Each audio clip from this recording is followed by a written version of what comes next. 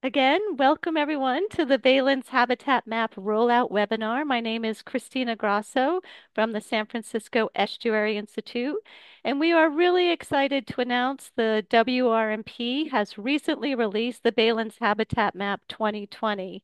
This is a foundational map for the monitoring program since it shows the distribution and the extent of our baylands. And today, my colleague Alex Bro will be providing an overview on the repeatable and standardized mapping methods that were developed to create the map. And then April Robinson will discuss how the information from the map can then be used in analyses. And we'll have plenty of time for questions and comments at the end. But before we get started, we really just wanted to take a moment to acknowledge the vision and support of our EPA colleagues. So the EPA's Water Quality Improvement Fund funded the Baylands Habitat Map and the development of the innovative and automated mapping techniques that you'll hear about today. And this map serves as the base map for the WRMP and will be used to detect change in our region's habitats. So these repeatable standardized mapping methods will enable the WRMP to collectively track progress towards the region's restoration goals and assess if the targets that have been set are resulting in on-the-ground actions. So we're really excited to provide you an overview. And with that, I think Alex will start. Thank you, Christina. Um, again, my name is Alex. Uh, I'm a GIS specialist environmental scientist at the San Francisco Institute. You, and I help lead the development me, Alex, of Baylands Habitat. Your voice is kind of coming in and out. Maybe you want to turn off your video. Sure. Thank you. How, how's it now? Much better. Thank Great. you. um, well, thank you. Uh, again, my name is Alex Bro. Uh, I'm a GIS specialist and environmental scientist at the San Francisco Estuary Institute. Uh, and I helped to lead the development of the Baylands Habitat Map, and I'm happy to share uh, so a little bit more detail about its development. Uh, and then April is going to share a little bit more about the application. So for some background, the Baylands Habitat Map um, is really had some main objectives and really Excuse for the Wetlands Regional Monitoring Program. Yes. Okay, I just want to make sure we can see your screen. Perfect. Okay, go ahead. Oh, great. Uh, so again, the main objectives is to really detect landscape change over time. Uh, the previous mapping that we had is uh, from an effort of the, the, Bay Area Aquatic Resources Inventory and the modern baylands that were developed in 2009. And so really it was time uh, for an update to this habitat mapping, uh, but also a, a manner to sort of create a data set and a method that we were able to sort of repeat uh, over time with able to do change detection in a much more efficient manner. So again, the goal is to be consistent and repeatable. The past habitat mapping used uh, what was called heads-up digitizing. So literally staff uh, zooming around the bay in a GIS and digitizing points and polygons around the bay uh, to sort of classify the habitats.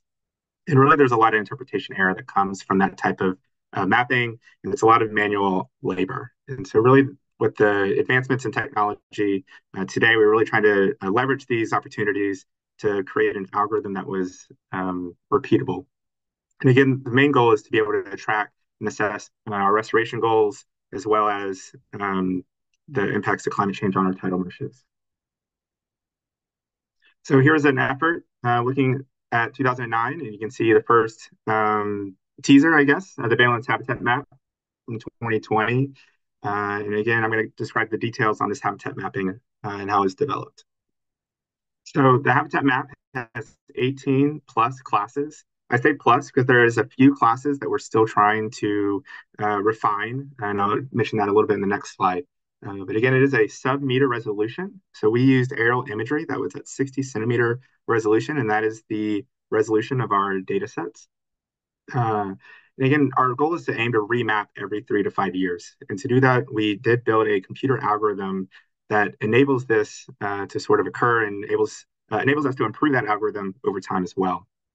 Uh, an important caveat is to make note that the extent, you can see that it has the gray outline there, is really what we find is the possible tidal influence. So we have like baylands and we have um, intertidal uh, habitats, uh, but it, it, kind of reaches, we kind of have a, a limit uh, that kind of highest astronomical tide. And I'll get into that in the classification. So it is a bit of a question. I've created these sort of uh, categories here. We have our subtidal classes, we have intertidal, full tidal connection, and then we have also this limited to no tidal connection. So that's kind of an important caveat there.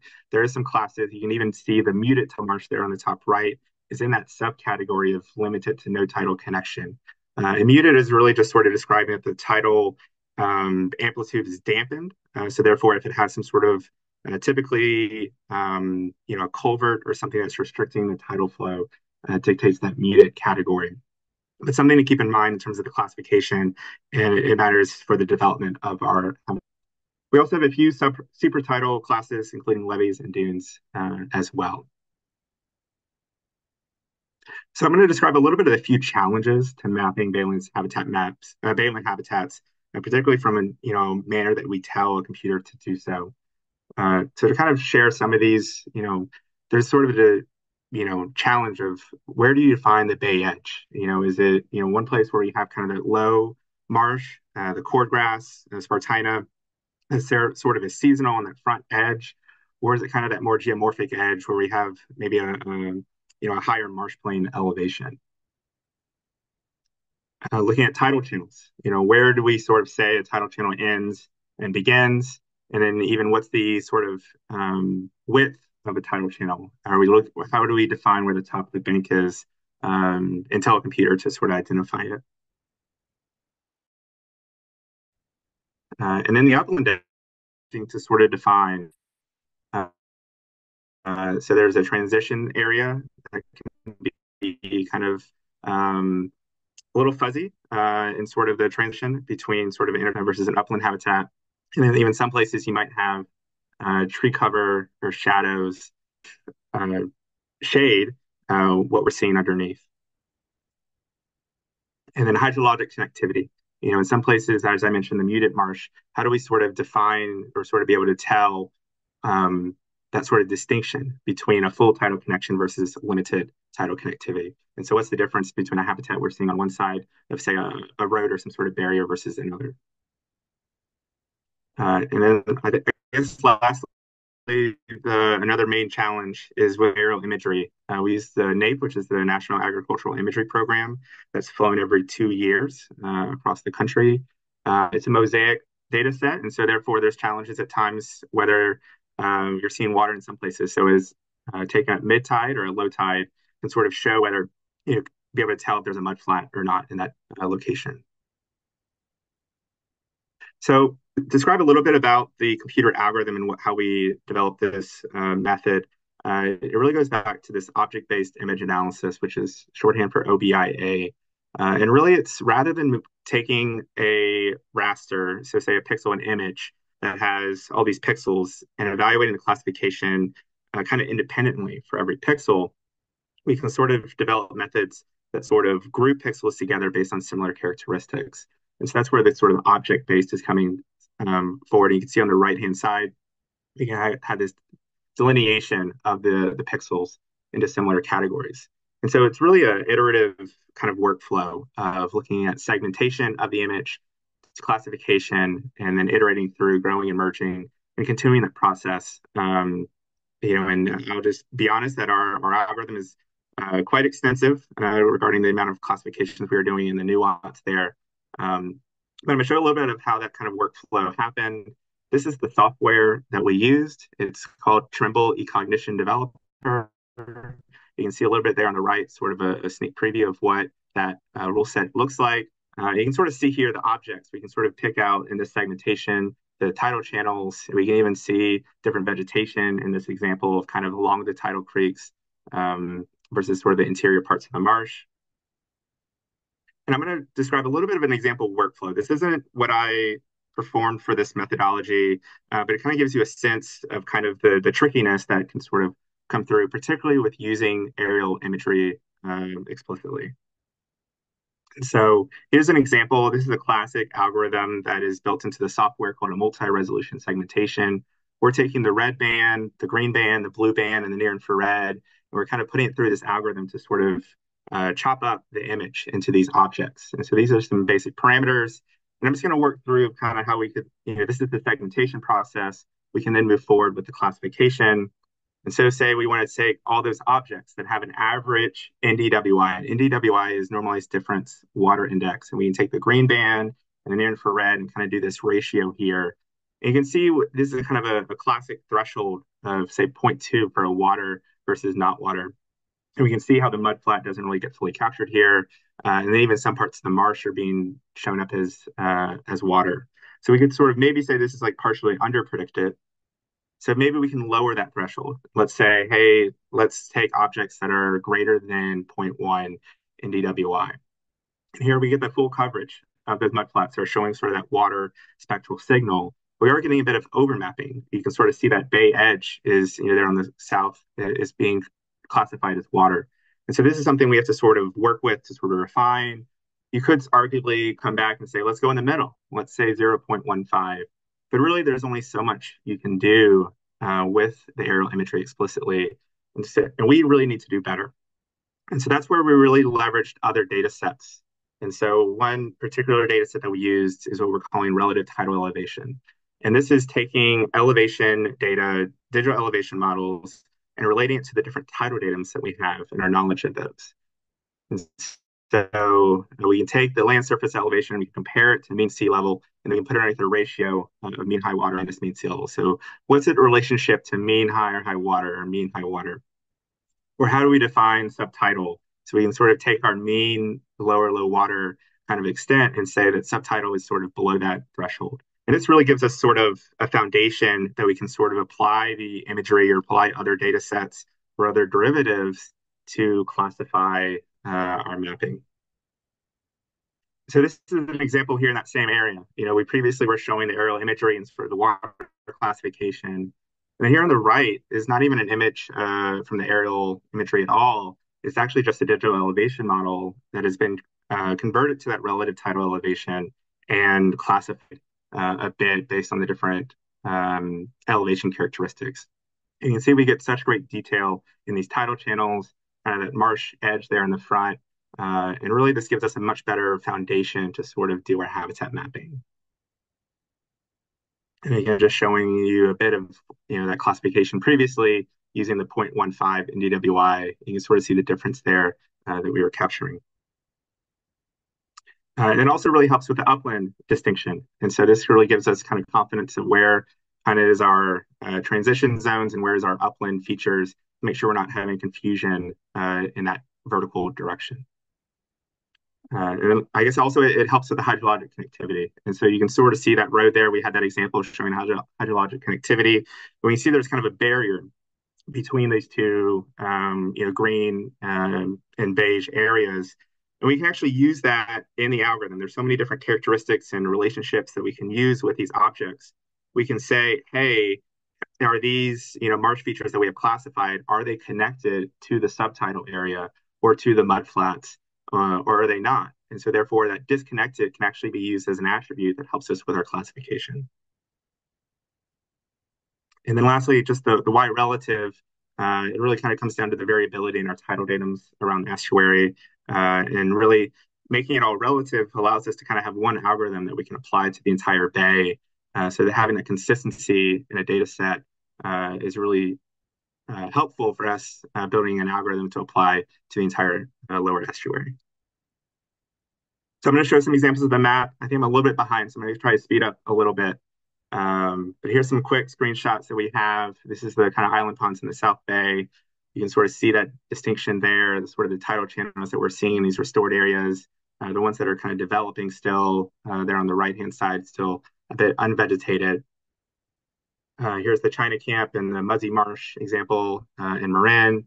We can sort of see these muted categories uh, that we highlighted previously. And really, I, I think I want to point out, um, and we even had a meeting earlier today, some technical advisors talking about channel networks.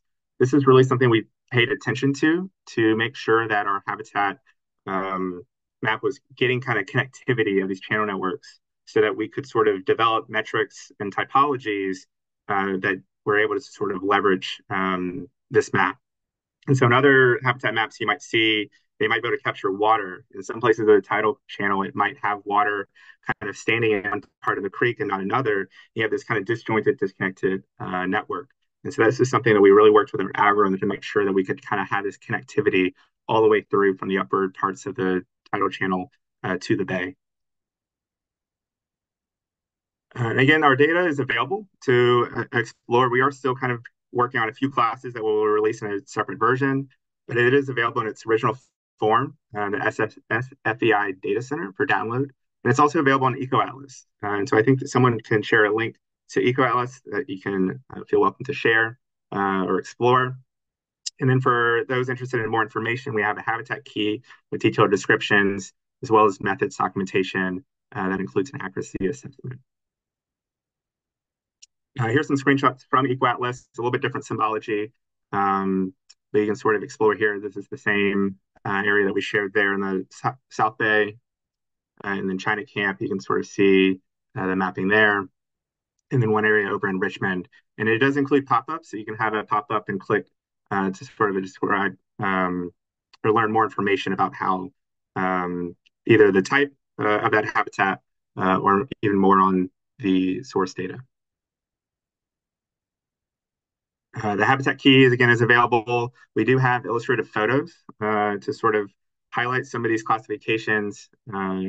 And again, the, the, classification system is really critical for change over time. And so we can sort of consistently try to map these habitats. Um, and I think April's going to talk a lot more about change over time um, in the next uh, part of the presentation.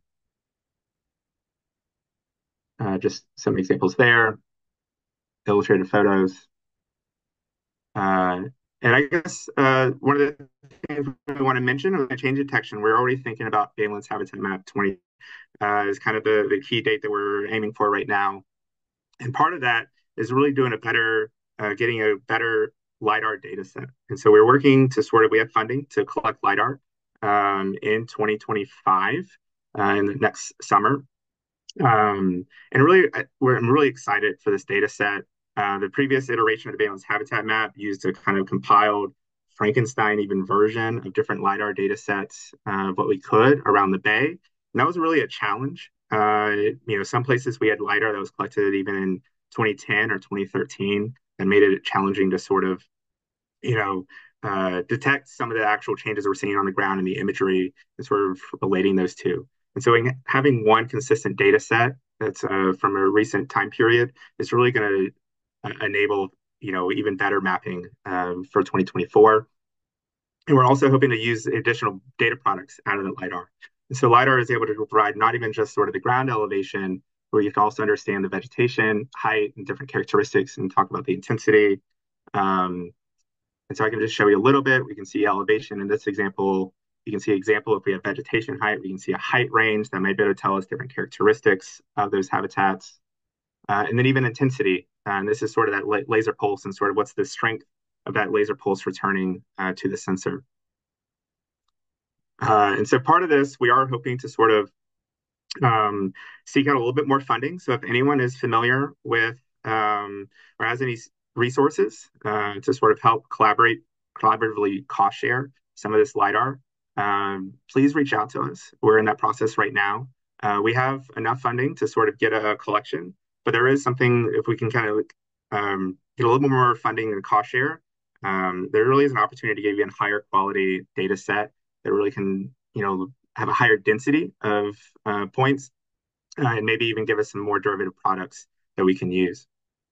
Um, one area for future improvements, the map isn't perfect, uh, and so we are working in future iterations to kind of refine our algorithm, particularly in restored areas. We're hoping the new LiDAR can really help with that because that was really a limitation is these are actively changing places and we had outdated LiDAR. and really what made it a struggle. And really also be able to tell so that will improve the elevation data and also maybe um, cause less confusion in some places with biofilm. And then the variability in tidal ponds and pans uh, was kind of a challenge. We really want to be able to track those uh, rates of change over time. And so future improvements will kind of work to enhance that part of the data set as well. Uh, and then, you know, just lastly, I just want to highlight the relationship to the Wetlands Regional Monitoring Program. You know, we really got a lot of feedback and input from our uh, technical advisory committee and our geospatial work group So it was really a, a great collaborative effort in development of this product and we really see this data set as a foundational data set for the Wetlands Regional Monitoring Program for various indicators and other metrics. And April will describe that uh, a good bit. Now, I lastly kind of want to point out that this is kind of an ongoing iterative process. We see this as two-way data exchange. We really see the Wetlands Regional Monitoring Program doing kind of more site-specific monitoring that we can then inform the regional level um, habitat map and other data sets that kind of go in to inform the habitat map.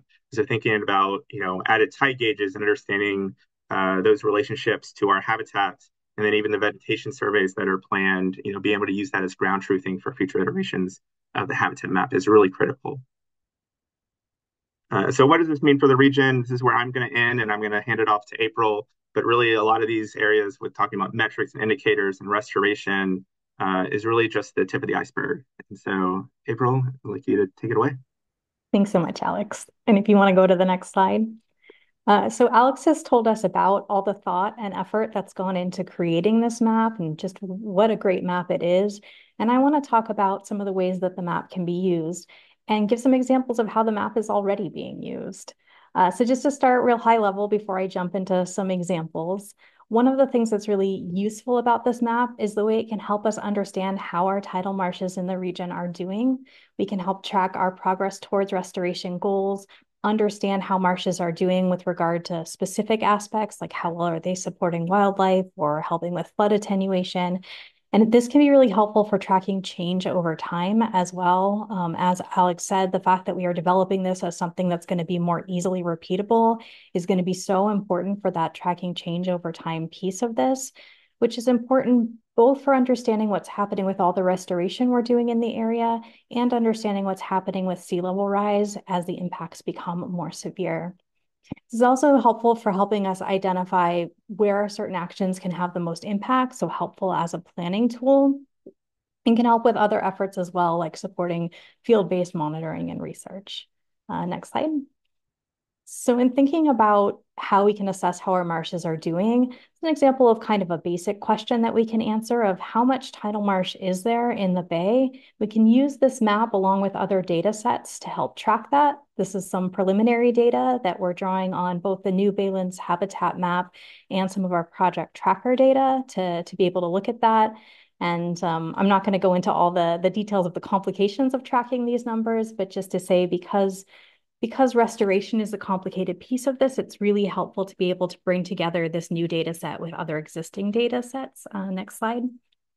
So just a quick kind of conceptual figure of how we're doing that. We're taking the Baylands habitat map, which is symbolized there as the, the top rectangle on, uh, um, on the right. And we're bringing that together with our project tracker data, which is telling us where we have restoration projects. And we're using that to come up with these different categories that we can track. How much tidal marsh do we have? How much of that is it within restoration project areas? How much area do we have that is on its way to becoming marsh, even if it's not marsh right now? So the Baylands habitat habitat map is incredibly useful and made more useful by the other data sets that we can leverage. Uh, next slide.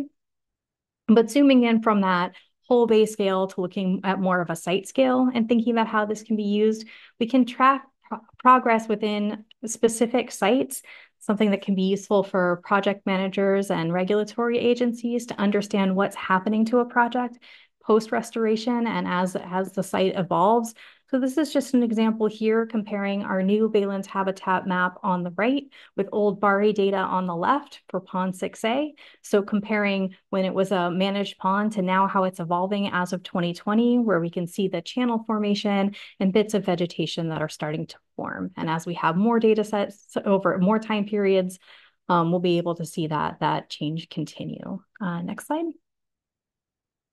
So we can look beyond just how much uh, tidal marsh we have to more of the specific functions by, by looking at some additional more complex metrics and analyses. Uh, so for example, if we want to know more about how sea level rise might be impacting marshes, we can look at things like the elevation of different marshes or how much vegetation we have in marshes and if we're starting to see more open water areas as sea level rise increases. We want to know how much support we have for wildlife, we can look at things like patch size and patch shape and patch connectivity, This is kind of a schematic example there on the right of understanding connectivity of marsh patches to help support species like salt marsh harvest mice. But there's a number of different metrics that have been developed um, through efforts like the Baylands Resilience Framework and through the WRMP that we want to start tracking over time to give us a better sense of how our marshes are doing. Uh, next slide. And this, these are the kind, these are metrics that we can really look at at multiple scales, like multiple metrics at multiple different scales. This is an example of the way the WRMP is planning to look at some of these metrics to be able to scale them in its nested hierarchy, all the way from looking at the whole bay through sub-embayments, all the way down to this analysis unit sort of project site level. Uh, next slide. So just showing a quick example of what that might look like. This is showing some data just about different marsh types and marsh features at that sub-embayment level all the way down to that analysis unit site level. Uh, next slide. And in addition to tracking over these different spatial scales, we can also use the mapping to track change over time because we plan to repeat this mapping every few years, so we can start to see things like, uh, are our restoration projects developing the way we expect them to? Are the sites vegetating? Are we seeing the types of channel networks that we expect? With sea level rise, are we starting to see erosion on the edges of our marshes? What kinds of changes are we experiencing? And what does this lead us to in terms of the types of actions that we might want to take or the lessons that we can learn? Next slide just one specific example of the way that we can use the maps to track progress. The Restoration Authority is using the map to analyze some of their performance metrics to look at how the sites that they are funding contribute to the overall marsh patches to make them larger, more connected, and more able to support marsh wildlife. Uh, next slide. So one specific example I wanted to talk about was the Baylands Resilience Framework, one of the early applications of the 2020 Baylands Habitat Map. Uh, it was designed to measure resilience of Baelen systems to sea level rise, and they developed a number of different metrics to look at wildlife support, flood, flood risk, uh, sediment placement, a, a bunch of, of potential actions um, with the idea that these metrics would inform adaptation and restoration. And one specific example is wanting to think about beneficial use of dredge sediment uh, by the Army Corps. Uh, so to do that, some of the specific, I want to show you some of the specific metrics that they developed that can help understand where the opportunities are. Next slide.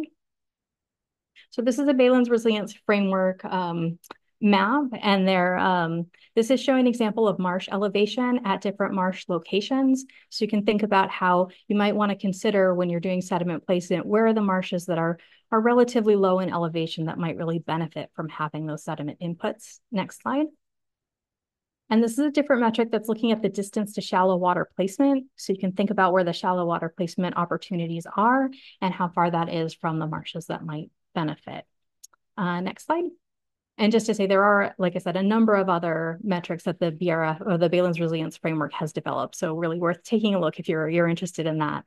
Another example of how this mapping can be used uh, in planning is BCDC's Regional Shoreline Adaptation Plan, the RSAP mapping platform, which is in development right now and which is going to incorporate the Baylands Habitat map. And that's a tool that's meant to be used for coordinated regional adaptation planning. Uh, next slide. Uh, and then just an example of how this, this mapping can be used to support field monitoring and research. Of course, we've shown there's a lot of ways that this mapping can be useful directly for map-based monitoring, uh, but it can also be helpful for work out in the field. And I'm going to show an example from CRAM, the California Rapid Assessment Method for monitoring wetlands. Uh, but there's a number of uh, other examples of the ways that this can support field work, both in the planning and the implementation and the interpretation stages. So for CRAM, these are um, rapid field-based assessments to try to get at the overall condition of a wetland. Before going out to do the assessment, there's a planning stage of wanting to know where you should do your assessments. Uh, so looking at the overall area that you might sample and then doing a sample draw to identify those locations. That's a place where the mapping can be really helpful for understanding that universe of places we could draw points on. The mapping is also useful in the field for orienting and navigating.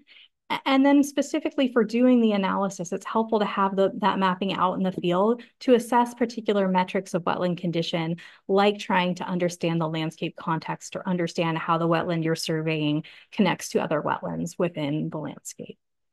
Uh, next slide. Okay, so in summary, this is this is a really exciting map because of the new tool, the new approaches that have been used, the automated nature of it, which makes it more easily repeatable. It's exciting because it's been a while since we had an updated map. So there's really a lot of opportunities here for, for this to be a valuable resource for the community for restoration planning, management, and monitoring. We are excited to hear about ways that you all might be able to use this mapping. Uh, in order to access it, you can either go to the project page where you can download it and find out more about the project. Um, I believe there's an um, ArcGIS web viewer on the project page as well. And then the data is also in EcoAtlas, so you can play around and look at the data there as well. Um, next slide.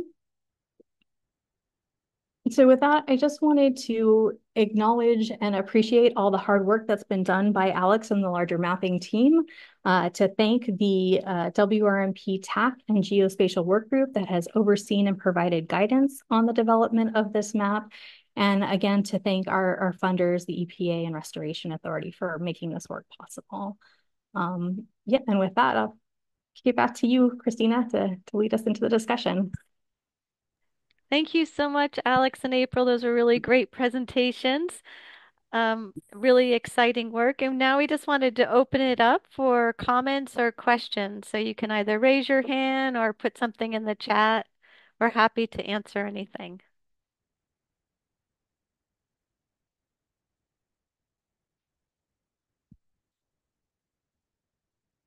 Maybe how you intend to use the, oh yes, Pat. Yeah, you're on mute if you're talking, Pat.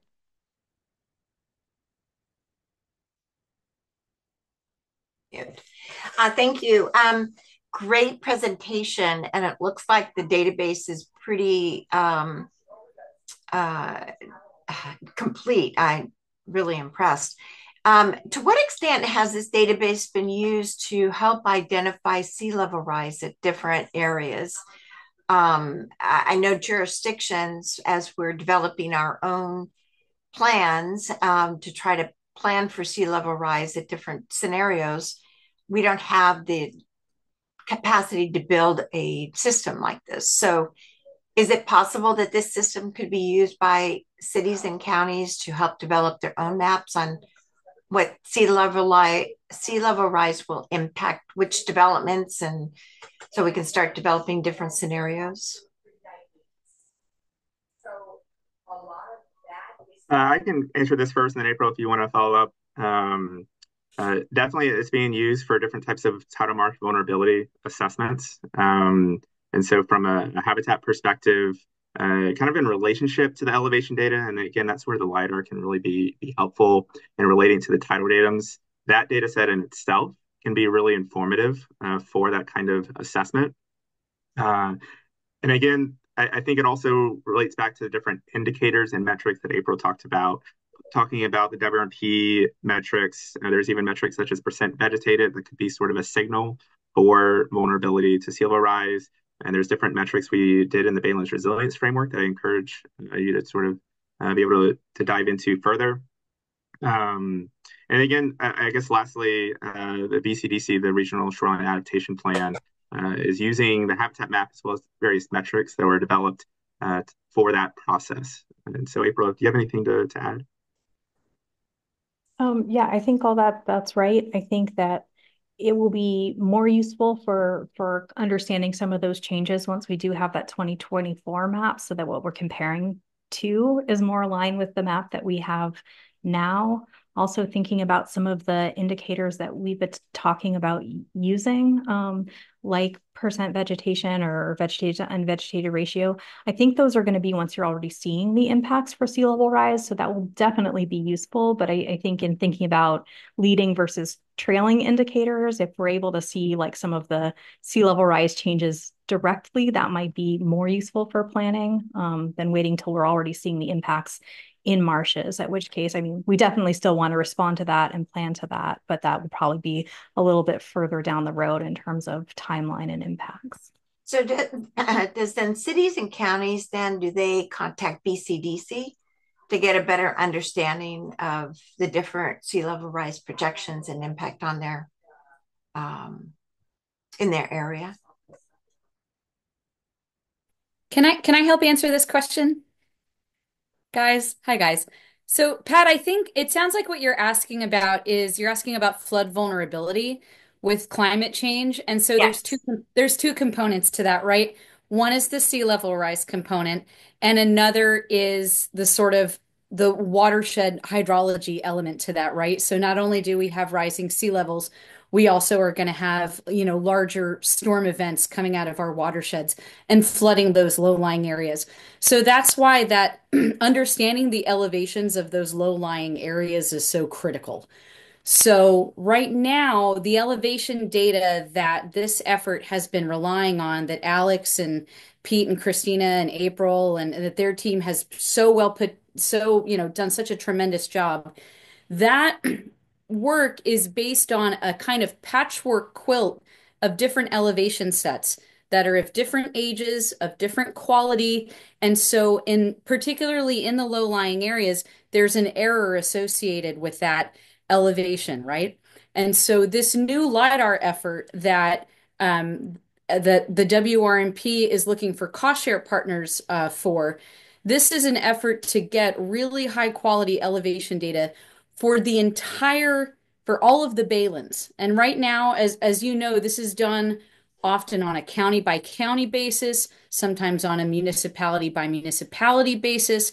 We're trying to get one consistent data set for the whole region that can then be used in these analyses that are being done by the WRMP and also by our partners at BCDC, for example, the Flood Explorer, right?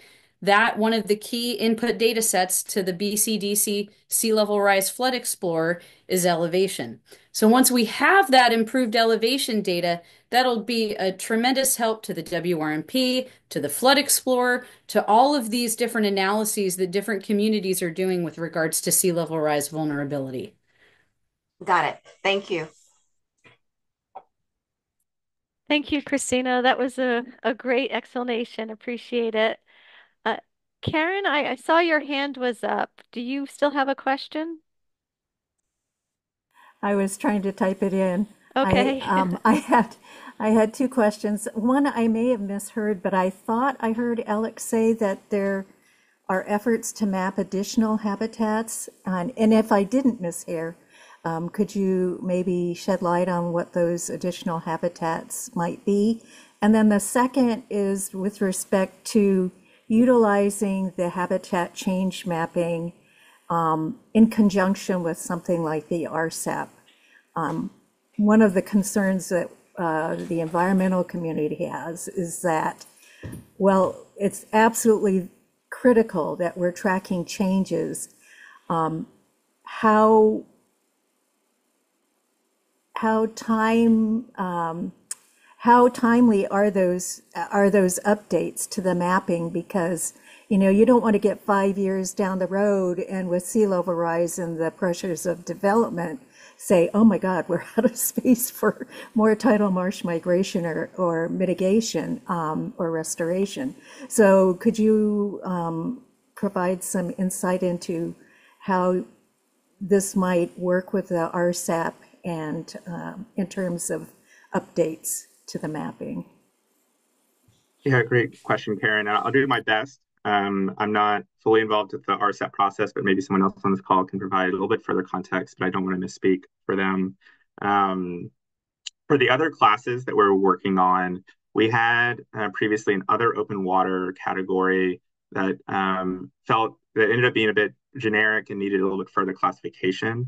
I think from our habitat perspective, we could sort of identify those and classify them um, in that category. Um, but there's kind of an added effort or, or you know kind of a need to sort of divide that out into sort of where does that kind of fit? Is it a managed open water? Is it a you know salt pond? Is it um, you know this muted category? That so that's in an effort that we're just trying to sort of add some refinement to to that classification to enable further analyses. Um, and then, um, so yes, that's that's the main kind of area that we're trying to add some further classifications.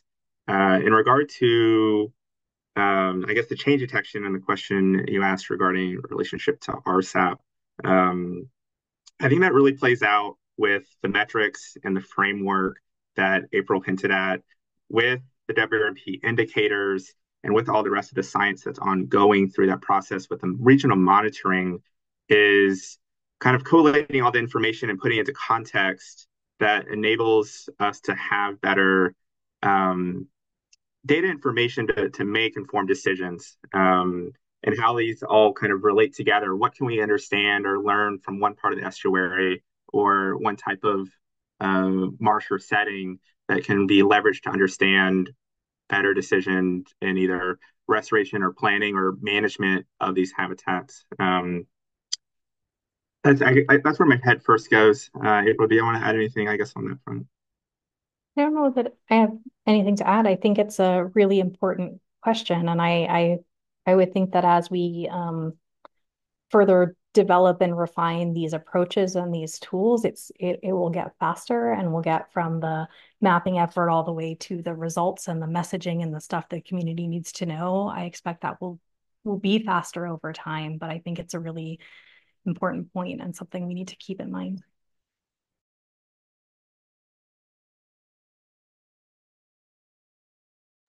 And then just looking in the chat, Karina, you did have a question about um, the higher for the higher quality data sets could on the ground collection help and what citizen science community monitoring opportunities are available for volunteers. And thank you, Christina, for responding. Um, I'm not sure if Sasha, if you want to also jump in on the people and wetlands work group and how that could answer this question.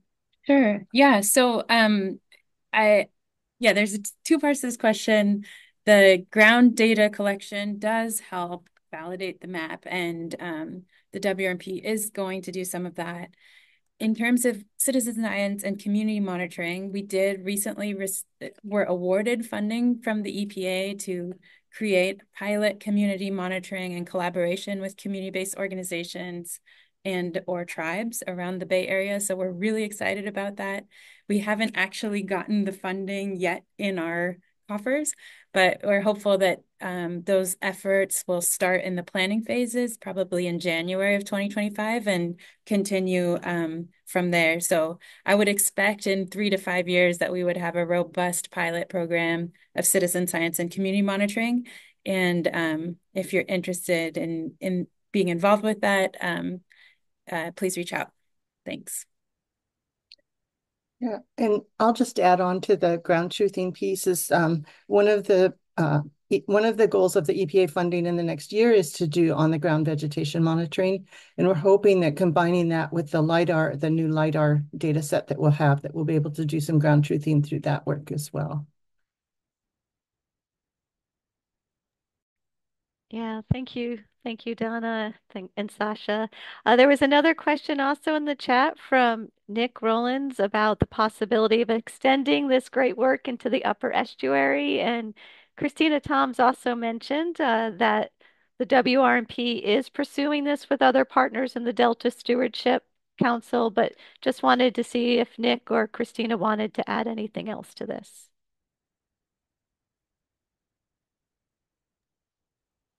We're we're we're hoping.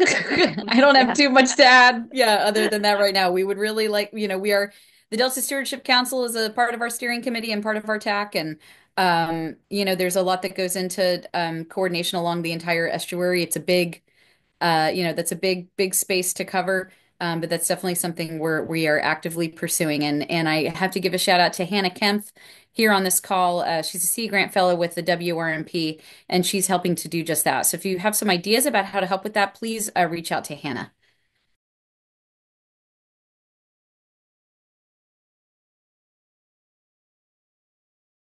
More questions or comments?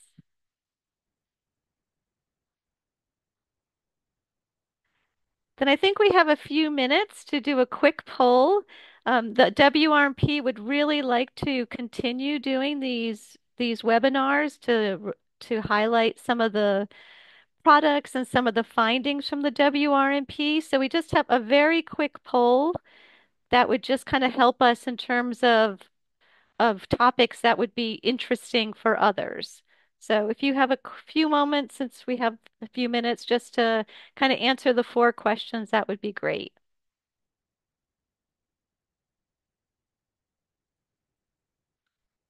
And is the poll working for everyone? It is. Thank you, Sarah.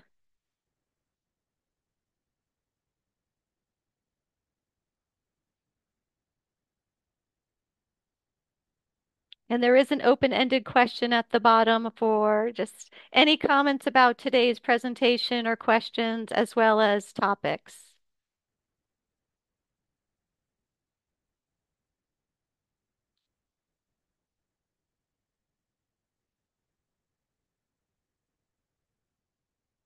And if you did answer other for what is your professional role, maybe you can add that to the open-ended question in number four.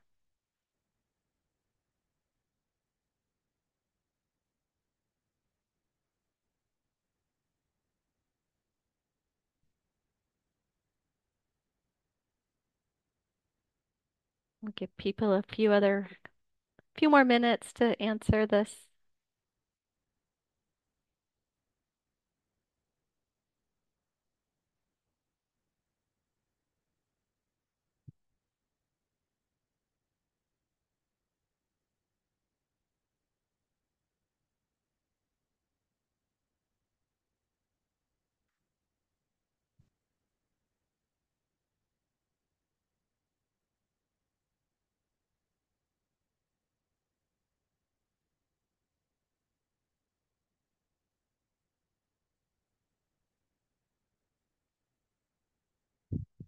Okay, maybe just one more minute and then we can look at the results.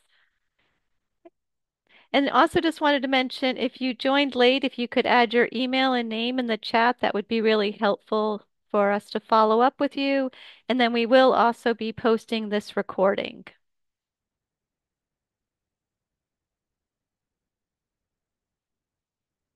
Where will you be posting the recording? On the SFEI website? Uh, probably on the WRMP website. WRMP. Yeah, and we'll send that out in a, okay, a follow-up email. Thank you. Okay, so let me go ahead and end the poll and share the results. And, and what about the slides? Can you send the slides out as well? Yeah, we're happy to. Thank you. And I think I'll just go ahead and stop the recording now. So